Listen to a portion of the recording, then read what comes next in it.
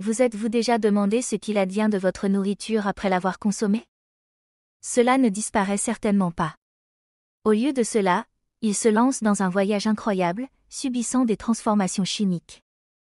Lorsque vous mordez dans votre nourriture, vous ne simplifiez pas seulement le processus de déglutition. Vous lancez la digestion, en fragmentant la nourriture en morceaux plus petits. Les enzymes salivaires commencent la décomposition des glucides complexes.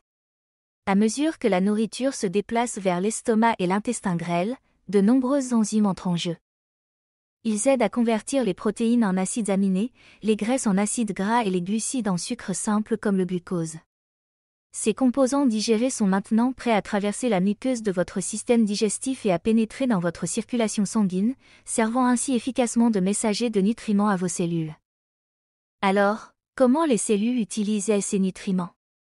Soit ils les utilisent comme éléments de base, soit ils les brûlent pour produire de l'énergie.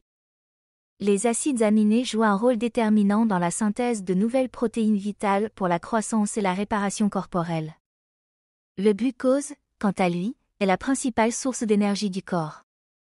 Lors de la respiration cellulaire, le glucose fusionne avec l'oxygène, libérant de l'énergie sous forme d'ATP, adénosine triphosphate. Cette énergie alimente diverses activités, du mouvement musculaire au transport de substances vers et hors des cellules.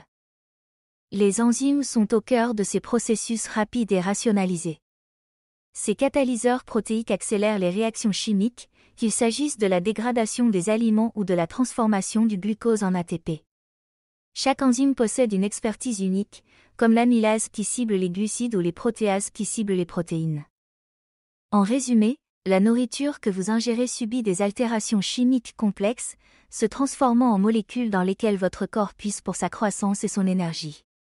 Sans ces mécanismes complexes et le rôle indispensable des enzymes, notre existence, notre croissance et même notre cognition seraient impossibles.